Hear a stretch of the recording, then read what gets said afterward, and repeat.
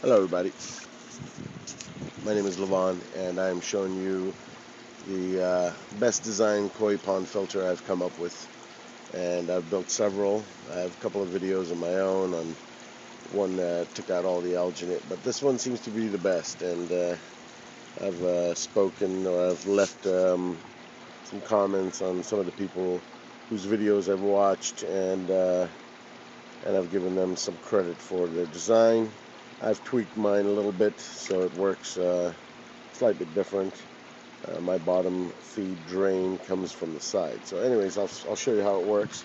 I got my, uh, this thing was super green and just, just nasty, full of algae and my in-pond filters that I have were super caked with algae and the funny thing is they're good for a thousand gallons each and I put two of them in there and they seem to get blocked up real fast so so that wasn't a solution for me, and I said, you know what, I'm going to go overkill, and I, so I did.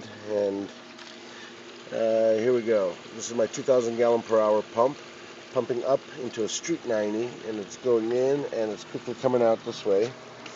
Now over here is got the main shut off, the tees off with a one inch going back, another shut off to my ultraviolet filter, and then back into the pond.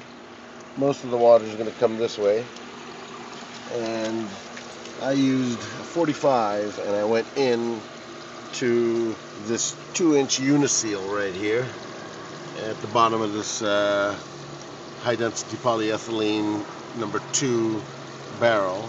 And inside here on my previous video if you see it is a downward facing uh, shower drain. I took the adjustable part out this is the part that you screw out the actual drain with the uh, the hex head and all that. Take that out, and um, on on the perimeter you'll see four uh, little tablets, basically four. Uh, looks like it was printed out with the mold. I drilled and I put four stainless steel bolts in there, and I elevated the uh, the drain facing downwards off the bottom by about one inch.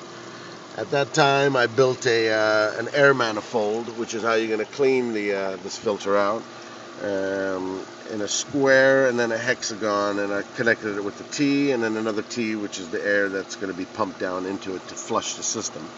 Anyways, downward facing shower uh, drain facing down.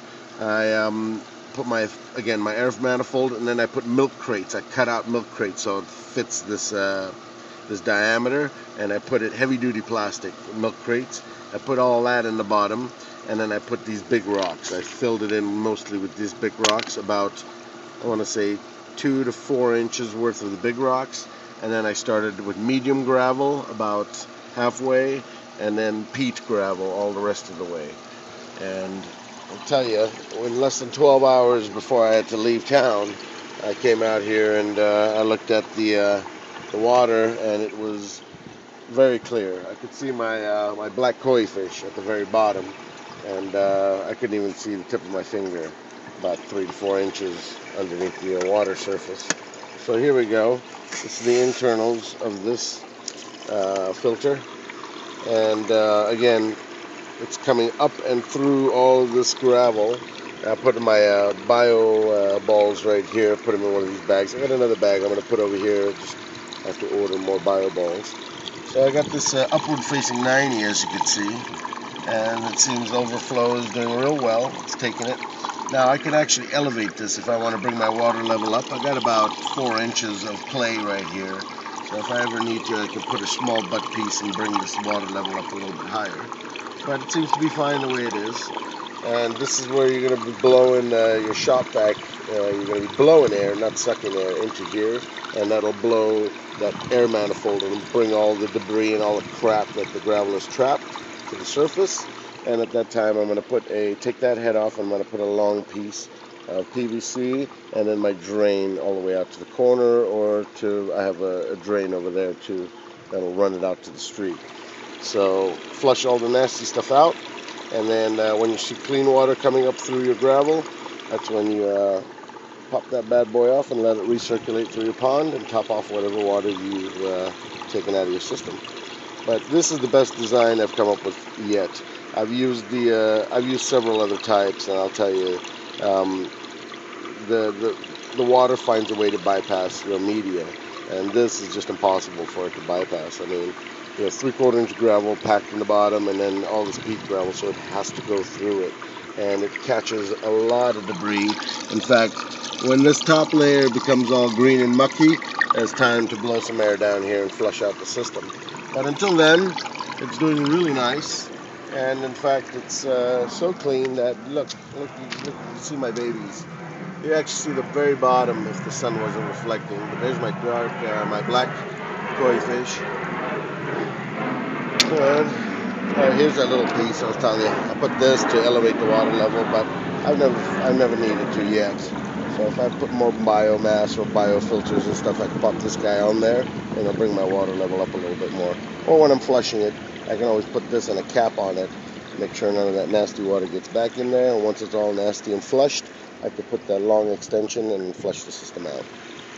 Okay. Oh, I forgot to tell you. There's a return. As it overflows, it actually drops here, which I like because it's splashing. You can actually hear it oxygenating. And then I hear it right here.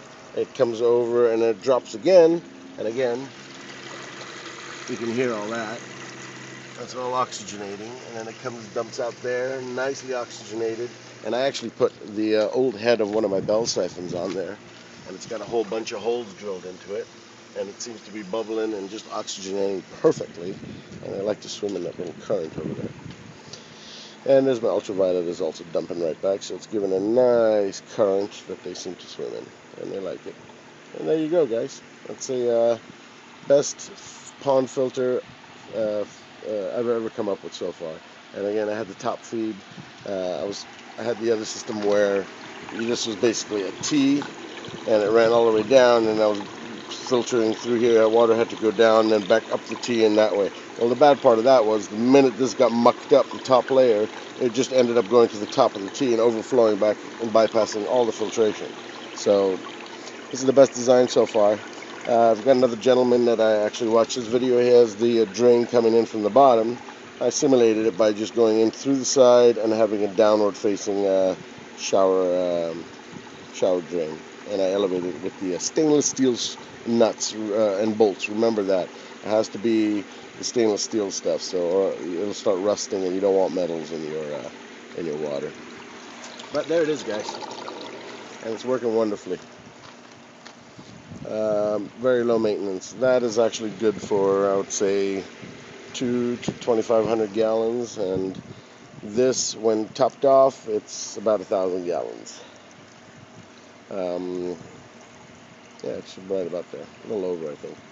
Anyways, there you guys. Thank you very much for watching and uh, for uh, commenting on my videos, and uh, I hope this helps you guys out. It's so simple. It's very simple. All the media, uh, two, three bucks a bag, and I think I used uh, five bags of three quarter inch and about three to four bags of the uh, peat, the smaller gravel, and bada bing, bada bang. There it is.